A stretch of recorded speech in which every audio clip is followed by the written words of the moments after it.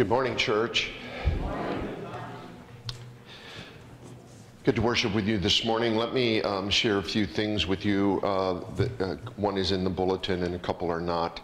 Um, first of all, we have set the day for the Christmas caroling. You'll notice that that's in the um, in your bulletin. It is Wednesday, the 20th of uh, December. Um, and everybody who is going caroling that evening, we would like to depart the um, church building at uh, 5:15 and then coming back and there'll be soup and refreshments and stuff for everybody to enjoy. So that's kind of an annual thing and that date has been set and please uh, note that on your calendars. I want to ask a question. How many of you are planning on coming Christmas Eve evening? Christmas Eve evening. Can I see your hands, please? Okay, okay you guys are singing, so I would assume. I'm assuming you'll be here. You won't be like, okay, um, FaceTiming us or something like that. That would be awesome. All right. I just, I just wanted to. We have a, we have a. Uh, we're going to do something a little different on Christmas Eve. I think you'll really like it. It will combine the old with the new, and we will still sing hymns galore, and we'll hear from the choir. Uh, but there'll be something special about that service I think you'll really enjoy. If you have family or whatever, um, friends, it might be a, a, a, cool thing to invite them to. It won't be the same old, same old. Let me just put it to you that way. I uh, spent uh, about 20 hours this last week working on it, and I'm about a fourth of the way through it. So we'll, uh, we'll, we'll, get, we'll get through that, and hopefully it'll be a blessing to you. Um, I wanted to let you know, um, it's in the bulletin, um, but Aileen Wilson has been uh, placed in uh, the Lutheran home, and uh, she really has no one to see her. And uh, she, you know, was obviously a major part of our congregation's life for 21 years, and she thinks very fondly of, of her connections here. So if you have an opportunity uh, to stop in and just say hi, um, I know she would really appreciate that. She, she, she really would. Um, little bird told me about all that, all right? So, and finally, I wanted you to know that there's something really cool going on in our community, and that is that this coming Saturday, the uh, restaurant Azul Tequila uh, is hosting uh, a meal, a hot meal for, uh, for the uh, community. Uh, it is a free meal for those who are hungry and those who are homeless. Authentic Mexican food. Uh, their doors are open at 10 uh, until 1 o'clock. So if you know someone who would like to uh, uh, participate in that, I think it's amazing when a business just says, listen, we want to be a blessing uh, to those, particularly those, some of those who are less fortunate in our community and do this. They will also have a big box out in front, and if you would like to uh, donate any gently used clothes or coats or hygiene items or toys or anything like that, if you would like to do that, that box will be there and you can put things in that. So when we have a business that's doing something like that, I think that's commendable and I think that we should show our appreciation uh, toward them in that. So if anybody, I'll have this up on the table. If you want any further details, you'll be able to see that. Okay? Is there anything else that needs to be announced this morning? Yes, Carol.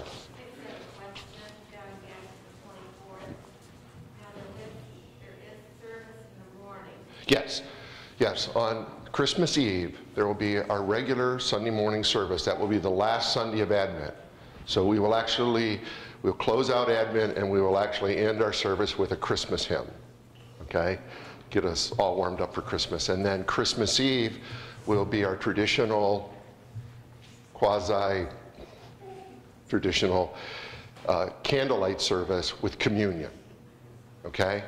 So we're, we're having both services that day. Yeah, and that will be at 7. And let me just ask you a question. Would it be more convenient for us if we, in the future, move the time of that service up earlier? to like, say, a 5.30 or a 6, whereby you'd be done and then have the rest of the evening with family, or maybe even a 5 o'clock start or something like that, to get it done possibly or even the beginning of it prior to things being dark.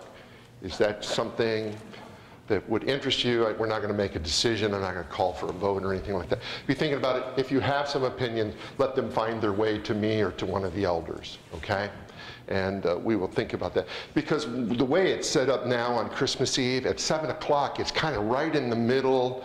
You either have to get an early meal and then scurry to church, and then home, or like we have family things normally on Christmas Eve, and we're the last ones to arrive in any family thing because by the time we close the service out and get out of here, it's almost too late to be with family.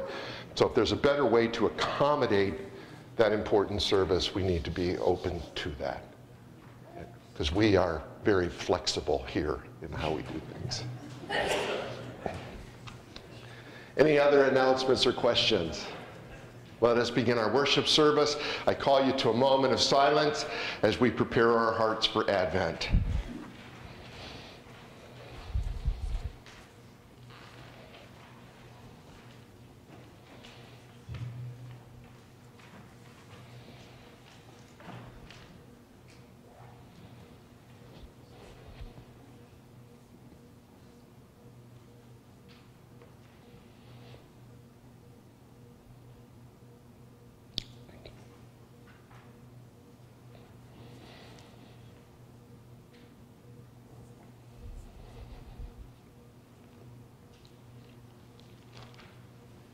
Amen. Join me in the call to worship. The eternal God who created all things calls us here to worship this day. Here in this place, the faithful are destined to find salvation. And here the careless are summoned to be awakened. Here the doubting may find faith, and here the anxious are to be encouraged. Here the tempted are invited to find help and here the sorrowful are offered comfort. Here the weary may find rest, and here the strong can be renewed. Here the aged can find consolation, and here the young can be inspired. This is our invitation to worship the living God, who sustains all things by the power of his word.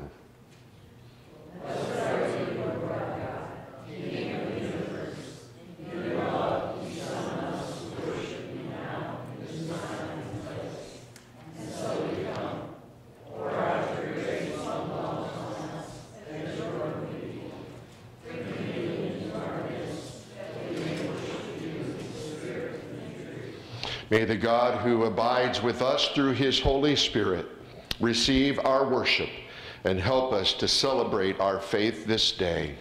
Amen.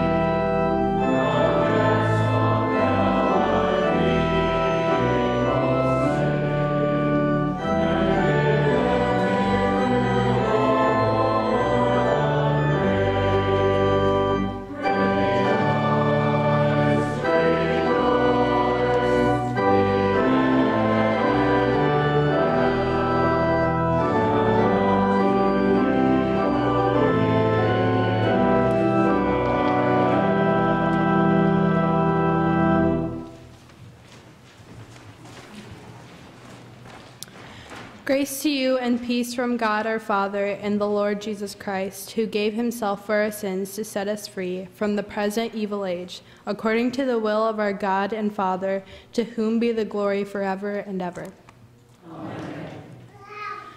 Today we join with generations of faithful believers in offering ourselves to God through the words of the psalmist. Today's reading is Psalm 80. Give ear, O shepherd of Israel you who lead Joseph like a flock, you who are enthroned upon the cher- cherubim, shine forth upon your people, stir up your might, and come to save us.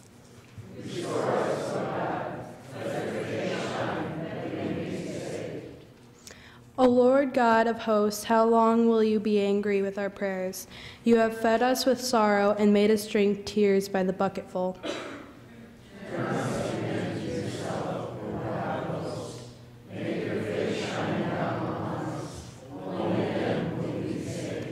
Let your hand be on the man of your right hand, the Son of Man whom you have made strong for yourself.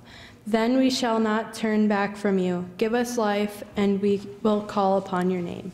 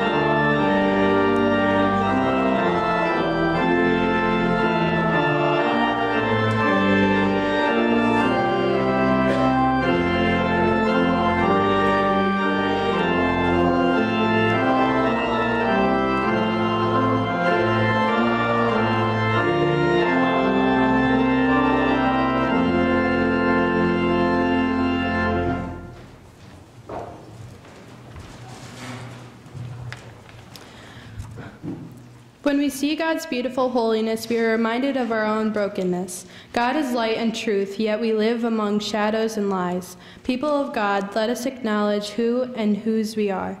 Let us ask our powerful God to illumine us with grace and truth in Jesus our Lord. Let us bring our brokenness before God and one another through our confession of sin.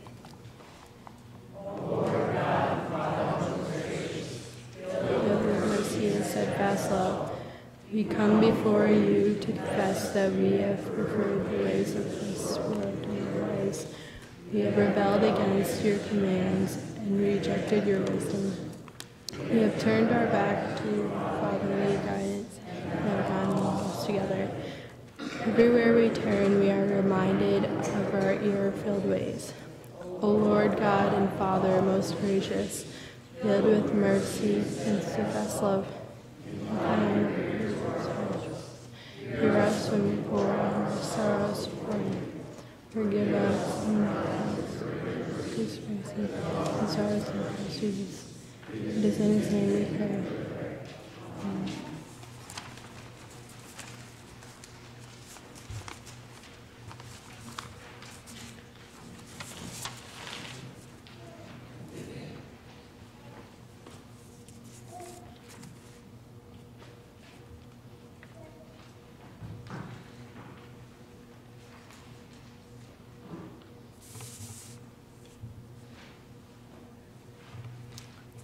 Amen.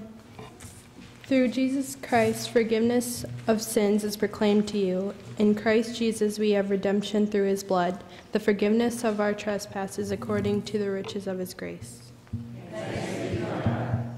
In response to this great gift and the peace that, bring, that it brings, let us share God's peace with one another.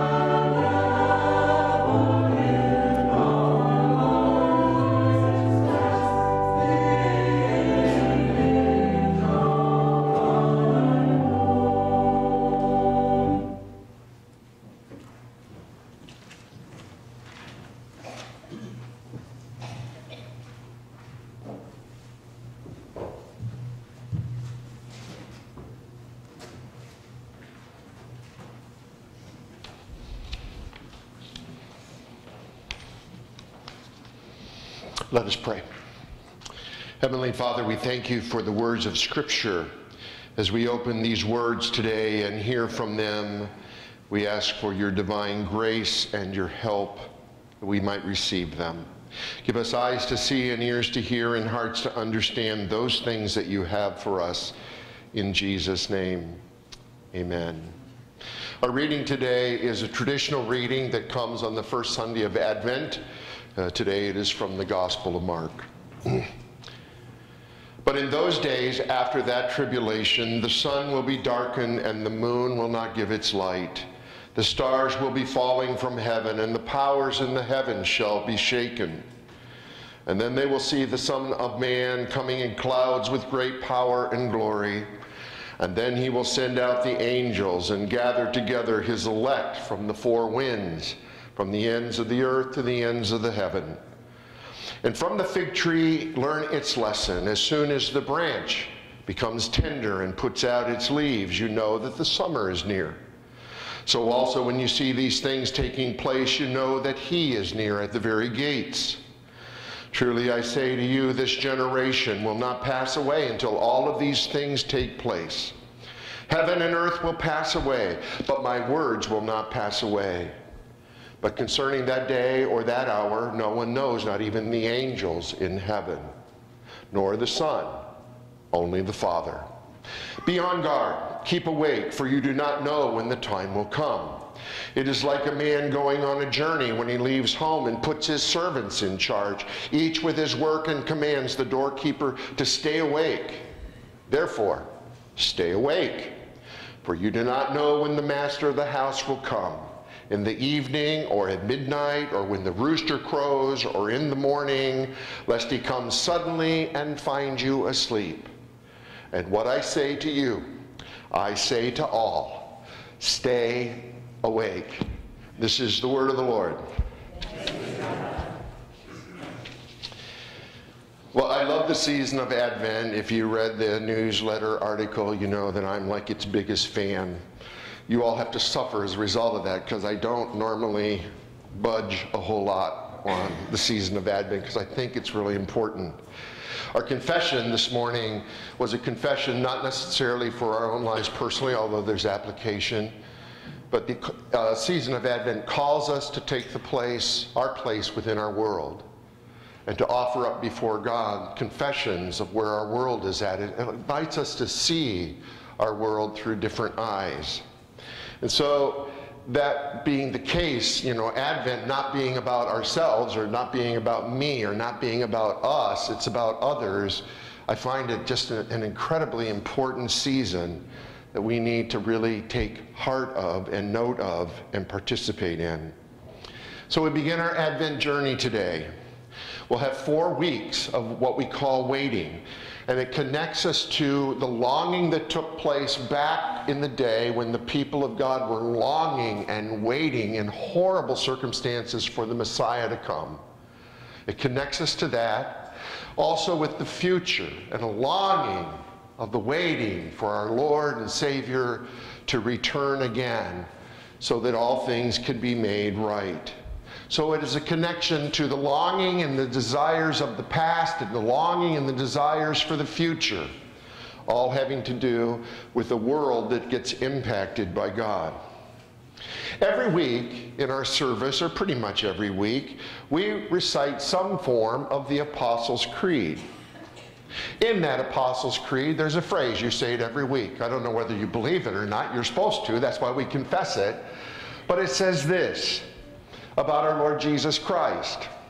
He ascended to heaven and is seated at the right hand of God the Father, from whence he shall come again to judge the quick and the dead. We say that every week.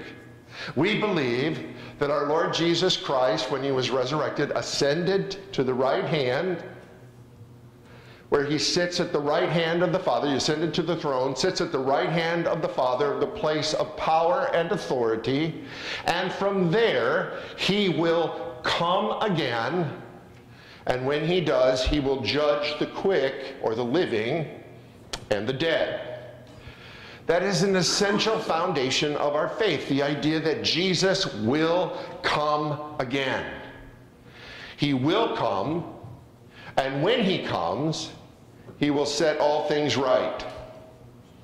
What was initially accomplished in his death and in his resurrection, where then he ascends to the Father, what was initially started there or inaugurated there gets completely fulfilled when Jesus comes a second time or again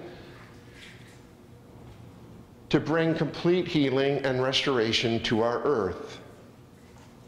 It is that belief, that expectation, that hope of Jesus coming again that makes faith vibrant. Without a hope of Jesus returning again, faith has a tendency just to become just a whole bunch of statements that we kind of believe or actions that we go through. But it is the expectant coming of our Lord that keeps faith alive. That's why Jesus is always in all of the parables, it, as he gets to the end, is talking about people who stay ready. People whose faith, the switch is on because they're looking for our Lord to come again. Now, that doesn't have to be some radical thing, and we're going to talk about that in a little bit. It just simply means that we hold out in a world that is broken, we hold out hope that it can be fixed. So let's look at our text. It is just a snippet of entire 13th chapter of Mark, which is called the Little Apocalypse. I don't know if I agree with that or not, but that's what it's called. Apocalypse being kind of a view of, of things, a, a spiritual view, looking at, at things from a spiritual perspective. It's interesting because the whole text that we read to you this morning starts with a proclamation or kind of a question. The disciples look at Jesus and they say, Look at that temple. Isn't it incredible? And you would look at it and you would say, Yeah, it really is. The stones on the temple, you know, the temple took up, I don't know if you're aware of this, but the temple took up about a sixth of the whole city of Jerusalem. So there's this massive area called the temple, and all of the stones were white. So when the sun beat on it, it was like this radiant uh, structure that just glistened with the glory of God. And the disciples look at it and they're proud of it. They're kind of like people of Napoleon and our church building here. You're proud of it. You know, people come. When we came into the town and we were looking to buy a home, the realtor that took us around, she said, Well, I don't need to take you by the Presbyterian church. I said, What do you mean? She said, I take everybody who's new to the community by the Presbyterian church because it's one of the things we're most proud of in our community. She said, You know all about that, though. So I didn't have to go on the tour of the church, see it. That's kind of the way the disciples were with Jesus. And Jesus looks at them and just simply says, It ain't going to last. There's not going to be one stone left on top of another.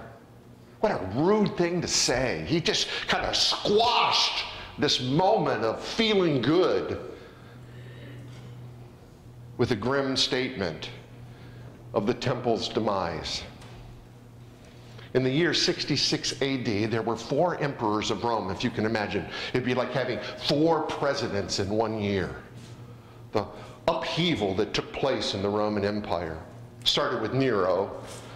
Was a, just a beast, a wicked, wicked man. Put, I believe he was the one that put uh, Paul and Peter to death.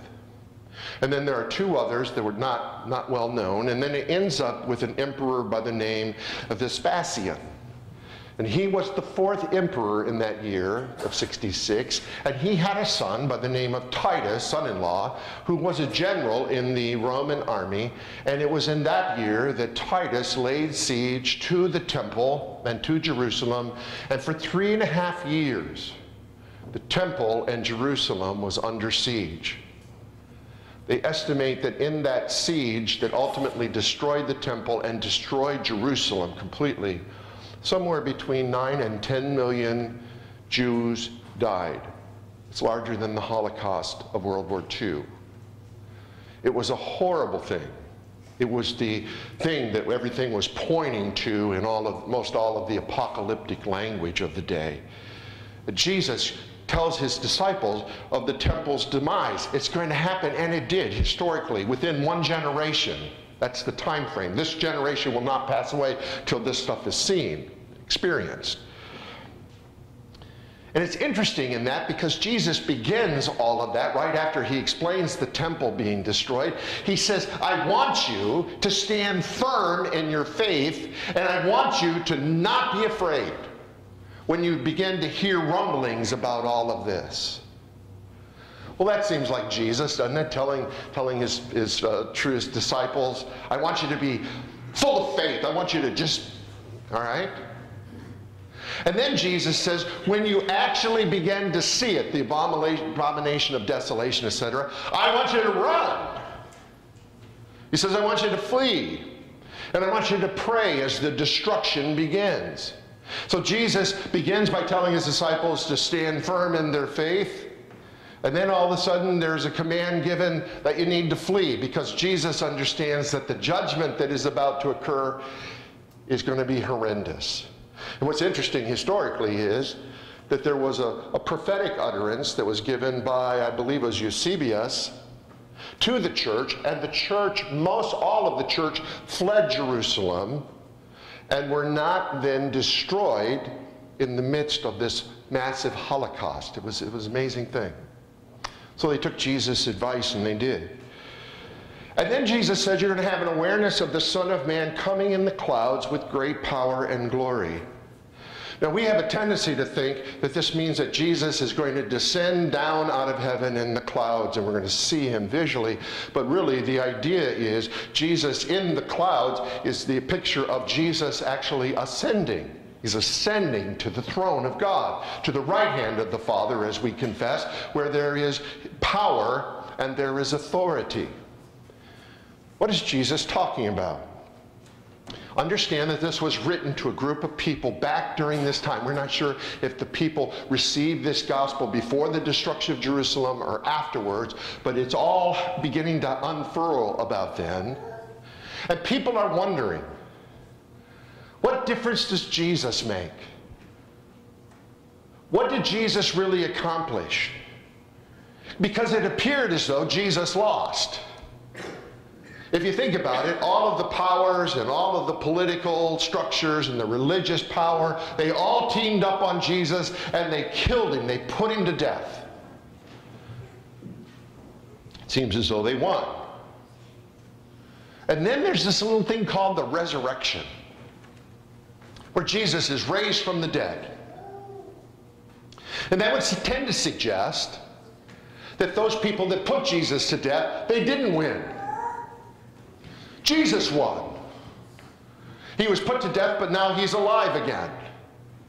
The Father has raised him from the dead.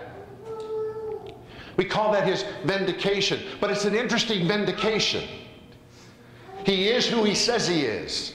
He didn't lose. But that vindication is known only to a few, and it's known primarily in secret. He only appears to his immediate followers. And the resurrection, as far as the world understood, it never happened. Those who were responsible for the death of Jesus made sure that the resurrection story of Jesus was somehow uh, uh, uh, just made inconsequential.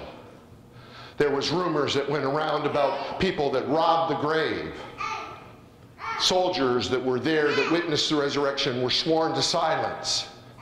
All in an effort to keep this vindication of Jesus from making being public.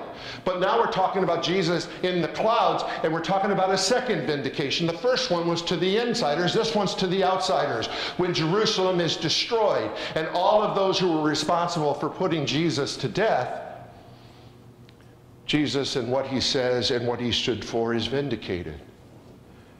They, only, they not only did not win in killing the Son of God, but Jesus is correct in his judgment upon them. The vindication, he is made out to be the one who is right. So Jesus moves through this, these words and then he gives us a time frame of a generation, but he says you don't know really when it's going to happen. Just keep alert, keep awake. And as we read our text in the last three verses, there are three times that Jesus says, keep alert or keep awake. Keep awake. That's the preaching point of the text. Keep awake. keep alert.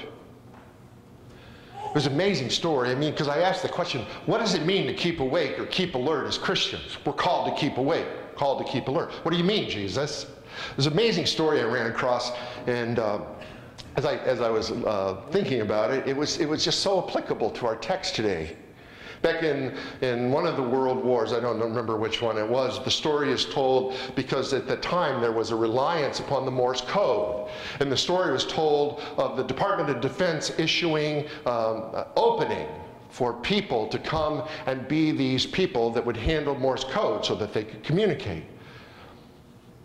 And so the summons was put out, the job was posted, and the applicants came into the, the area where they are to be interviewed to see if they're going to be the ones selected for this position. So here this gentleman walks into this room, and here's all these people sitting in there waiting to be called. They're waiting for their interview to take place. And so he has a seat among all of them, and he sits there, and everybody is waiting. And they're waiting patiently. And they wait some more. And they continue to wait. And all of a sudden, he noticed that there was a rhythmic little impulse going on in the background. And he began to take note of it. And all of a sudden, he realized it was Morse code. And the code said the first one who comes into the office will be the one who is awarded the job. So he gets up and he walks into the interviewer's office and he is hired for this strategic job. And he walks out into the room and he says, I've been hired. I'm the one. And they all looked at him and said, But what about us? You see, there's two kinds of waiting. There are people who just wait. If it were me in there, I'd be playing with my smartphone, waiting. And then there was somebody who was waiting, who, as he waited, he was listening. He was aware. He was responding. And what he heard moved him to where he needed to be. I think when Jesus calls us to wait, he has that in mind. The text we read this morning actually happened, but it is a foretaste of what will befall our world. What happened in the past, in part, will happen in fullness when Jesus comes again. And as the disciples were called to be alert and to keep awake, so are we. But what are we to keep alert and awake towards? To me, I think it's something that's very obvious. We are to be aware and alert to those things that oppose God, oppose the purposes of God, oppose what Jesus stands for, those things that Jesus is going to judge. When God calls us to be awake and alert, He calls us to wait and observe. The very things that opposed Jesus in the beginning, that he triumphed over in the judgment of which he spoke in Mark 13, those very things are still alive and well in our world today. And those things that opposed him then still oppose him. And when he comes, he will deal with all of that. I think the opposite of all of this on being awake is a word we call complacency. You know that word. It's where you just exist. It is a room full of applicants waiting to be interviewed who are just complacent. If you become complacent about anything that's important, it will die. If you become complacent about a relationship, complacent about your health, complacent about justice in our world, or complacent about the grace of God, or complacent about faithfulness to God. Anytime you become complacent, all of a sudden that which is important shrinks and we become of no use, either in our relationships with one another or with the things of God. So, what are we to be alert to? Well, perhaps I, I, would just say this way those things that oppose Jesus, well, what are those? Well, there's, there's several things that I took note of as I was thinking about. There are societies and institutions. Societies are groups of people who live together uh, in an ordered community. And so you have to ask yourself well, how are, how are things ordered in our society? Or institutions or organizations that have been established for a particular cause or program. So you ask yourself, what are those causes or programs that this institution represents? There are things that oppose Jesus in the area of structure or policy, how we organize ourselves, the actions that we are uh, called to take and policies or their prejudices and oppressions. All of those things oppose Jesus. There was an interesting article I was reading this week because it's becoming such an issue we can't ignore it anymore. It was an article written by one of my favorite uh, uh, follows that I, that I have, and it was talking about why preachers need to stay out of the arena of politics. Well, I don't need any encouragement on that. I've never tried to enter into that realm, or I did in my early days. I still have the scars to show when I entered into that, and I also have the sense of of struggles that resulted as uh, you know doing that. But the reason that this person said that we are not called to enter into the area of politics, and by the way, there's a new bill that's to be passed or looking at being passed whereby churches now can align themselves and pastors can become voices of politics, trying to tear down that wall. If that happens, woe be to us. It's, it's a fascinating thing how we think that the freedom to do all of that is actually going to help us, but it, it, it's just an incredibly harmful a thing that they're looking at doing. This person said the reason why we're called to stay out of that is because you, we as pastors are called to represent the ideal and the ultimate. And politics, by its very nature, deals with the real and does whatever's necessary to deal with it. It can't be the ideal and it can't be the ultimate. There's no political strategy or political party that can bring in the ultimate or the ideal. So we're called that. And, and I'm going to be honest with you, it is the greatest, it is the greatest amount of warfare that we go through in the ministry. The, the greatest amount of discouragement that we face in the ministry is we are called to the ideal and to the ultimate. We see that from the scriptures. We, we, we embody that as we study God's word and it forms in our hearts. We see that. We see what the church is called to be ideally, what the ultimate expression of Christ on this earth is to be. And then we have to deal with reality. And the difference between those two are haunting. The reality is so far below what the ultimate or the ideal is. And to live in that space where you're constantly seeing the ideal and constantly seeing the ultimate, but constantly being forced into living in the real that is broken, it, it, it forms the greatest struggle we have as ministers. So I got to thinking, without being political this morning, or aligned with some political ideology. What is it that I'm alert to? What is it when I look at our world that I try to see? What are the things that I look out here of Jesus that I try to be awake and alert to? Let me just share a couple of those with you. First of all, my world lens that I'm alert to in Advent, especially. I am alert to a society that values human life above all other ideas and endeavor. I value a society in which human life is the most highly valued thing. All the way from the unborn in the womb of the mother to every person, to the elderly, who seemingly has no viable purpose in our world anymore. Human life is precious.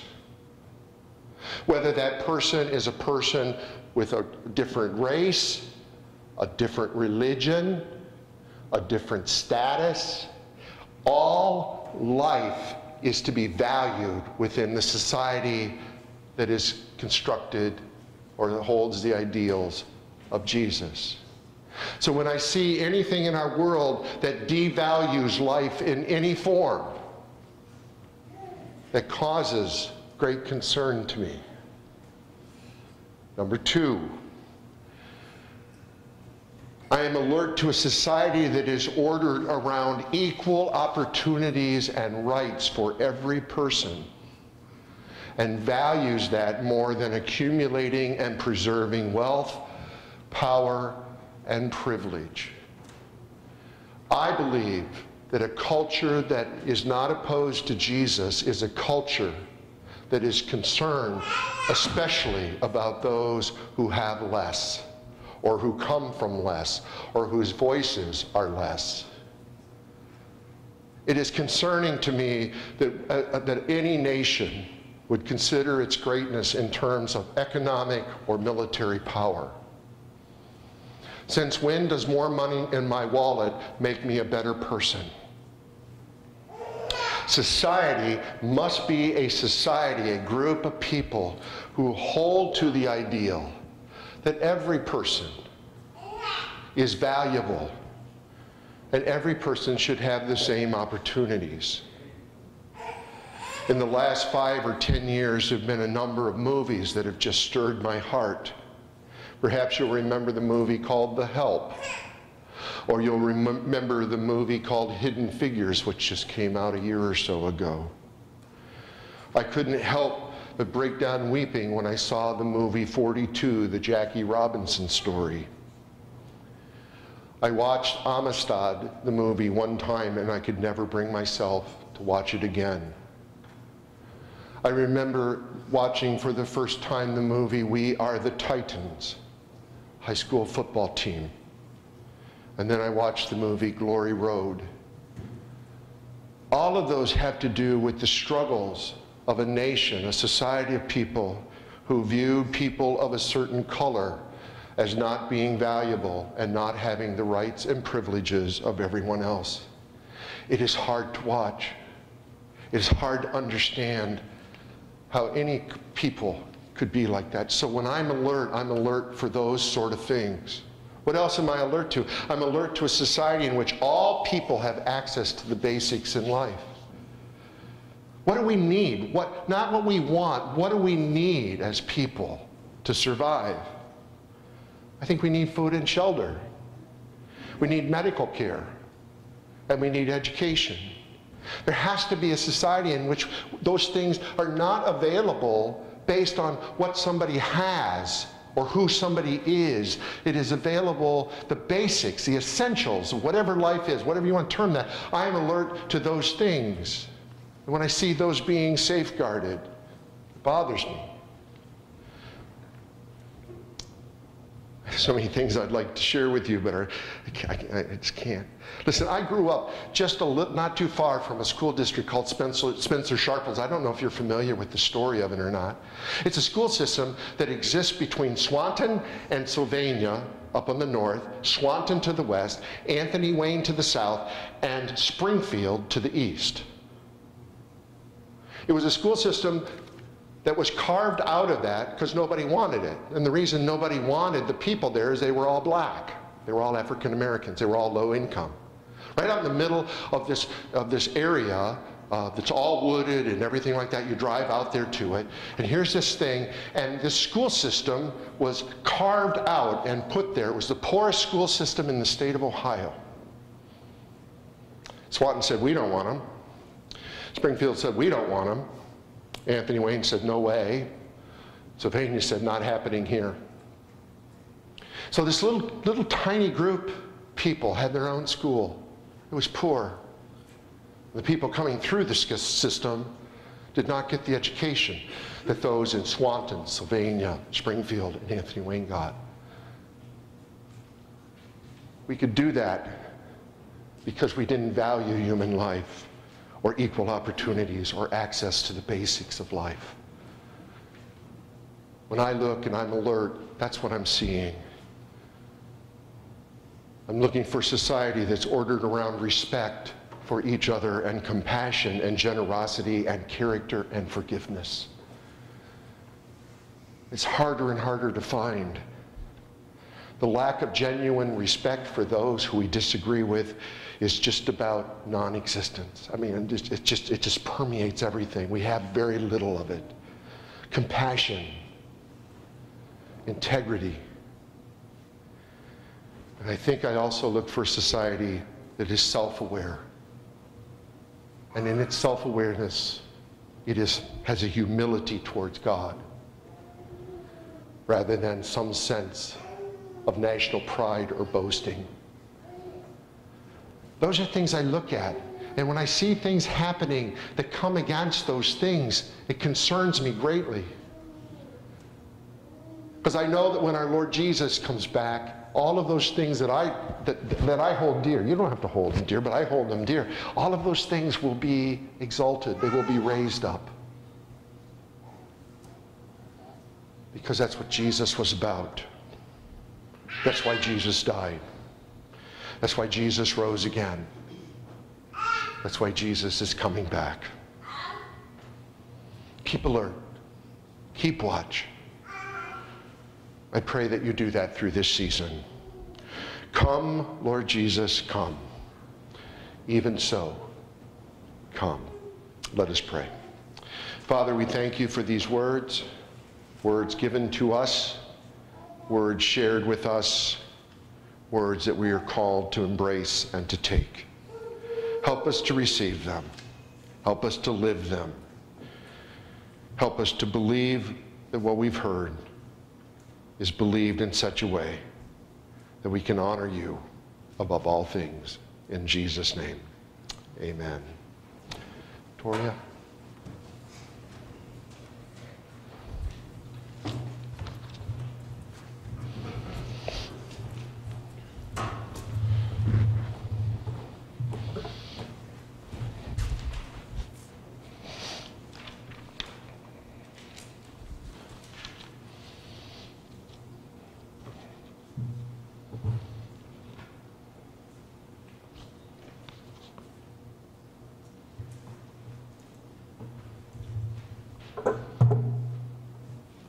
Would you join me now as we profess our faith with the specific emphasis on hope?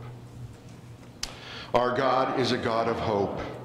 God called our world into being, filled it with life, and commanded it to flourish. God renews it through Jesus Christ. God governs it by the Spirit. God's world was created and is sustained in hope. Jesus Christ is the hope of God's world. In his death, the justice of God is established. Forgiveness of sin is proclaimed. In his resurrection, death was defeated. New life has come. God's purpose for the world was sealed. We are a people of hope. In this age, the Holy Spirit is with us, calling nations to follow God's path uniting people through Christ in love. In the age to come, God will renew the world through Jesus, who all things unrighteous out, purify the works of human hands, and perfect their fellowship in divine love. Christ will wipe away every tear. Death shall be no more. There will be a new heaven and a new earth and all creation will be filled with God's glory. Amen. This time, if our ushers would wait on our people, we will receive our morning offering.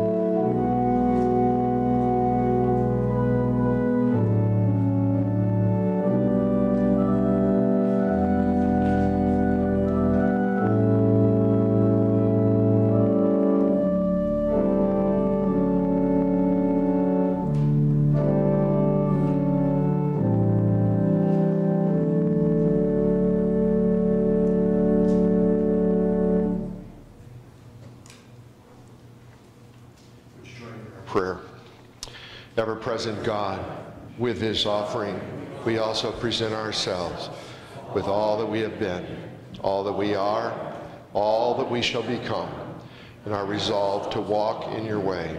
Accept us and our offering, we pray for Jesus' sake. Amen.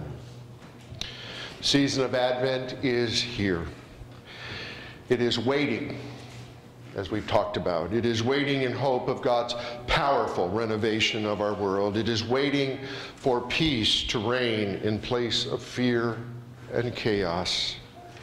It is waiting for the time when the joyful expectation of new life is finally known. It's waiting for the day when God's love floods the earth. As we wait at this table, we wait hoping to taste a little bit of those things. This table offers us a foretaste of hope and peace and joy and love that will be ours when our Lord Jesus comes again. With that, I invite you to our table. Let us sing Spirit of the Living God as we prepare to receive our communion.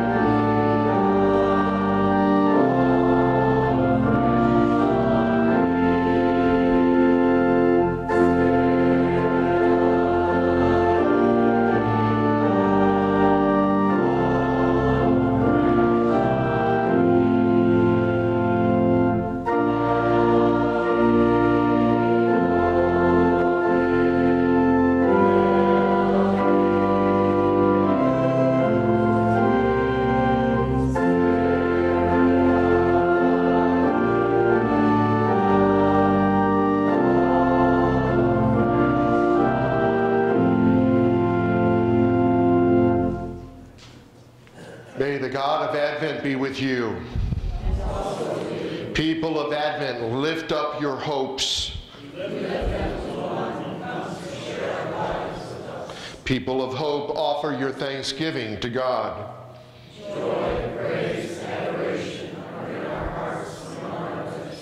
O Lord our God, creator and ruler of the universe, in the very beginning you created all things and offered hope for generous life, lived in abundance within your goodness. The earth, enshrouded in bondage to darkness and chaos, was brought to order and shalom prevailed. All creation rejoiced as the wonder of life broke through the chaos, and the stars danced, and the mountains and hills sang, and the trees clapped their hands as joy prevailed. Into your image you created us. With loving hands you molded us and breathed into us the intimate breath of your spirit. Therefore, we join our voices with all of the saints and angels and the whole creation to proclaim the glory of your name. Holy, holy, holy Lord, God of power and might, heaven and earth are full of your glory. Hosanna in the highest. Blessed is he who comes in the name of the Lord. Hosanna in the highest. When our sin and rebellion shattered your creation, when all hope was gone, and when peace gave way to fear and chaos brought about darkness, when joy was lost to heartache and despair, and love's powerful influence became threatened. You sent forth your own Son to restore the foundations that had been destroyed. He lived, He died, and He rose again to bring us an abundant life full of hope, peace, joy, and love. And so, as we stand before this table, we're reminded once again that our Lord Jesus took bread and he gave thanks and broke it and gave it to his disciples, saying, This is my body for you. Do this in remembrance of me. And in the same way, he took a cup and he said, This cup is the new covenant in my blood. Do this in remembrance of me. Whenever we eat this bread and drink this cup, we proclaim the Lord's death and resurrection until he comes again. And when he comes, he will judge our world in righteousness, and all things will become new. And therefore, we proclaim our faith as signed and sealed in this sacrament. Jesus,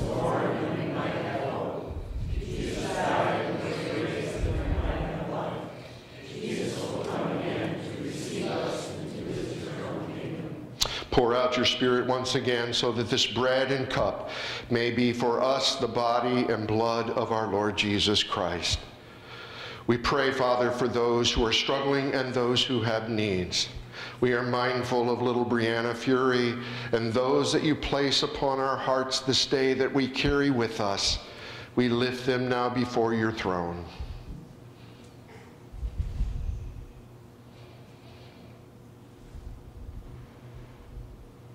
Now may we and all of your saints be united with Christ and remain faithful in hope, awaiting your promised salvation. Gather your whole church, O Lord, into the glory of your kingdom, and let us join together now in the prayer that our Lord has taught us to pray. Our Father, who art in heaven, hallowed be thy name. Thy kingdom come, thy will be done on earth as it is in heaven. Give us this day our daily bread and forgive us our debts as we forgive our debtors. And lead us not into temptation, but deliver us from evil. For thine is the kingdom and the power and the glory forever. Amen. Our table is now open.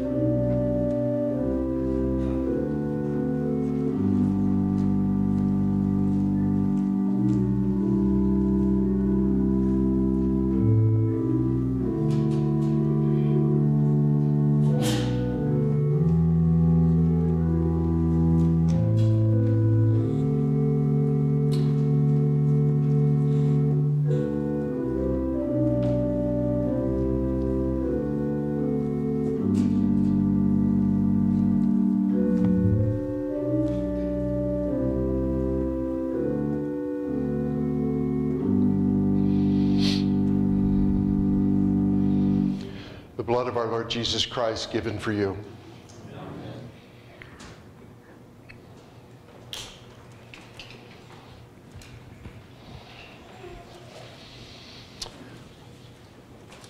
Who are those that are extending uh, communion today? Bob and Sandy, thank you so much for doing that. Let's pray for them.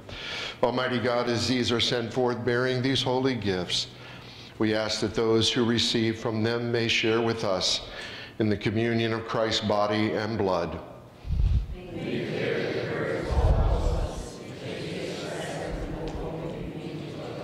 Amen.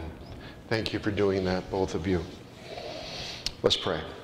Loving God, you get, we give you thanks for uniting us by the baptism in the body of Christ and filling us with the joy through the holy supper of our Lord. Now that we've tasted the banquet you prepared for us in the world to come, strengthen us that we may one day share together the inheritance of the saints and the life of the heavenly city. Through Jesus Christ our Lord, who lives and reigns with you in the unity of the Holy Spirit, ever one God, world without end. Amen.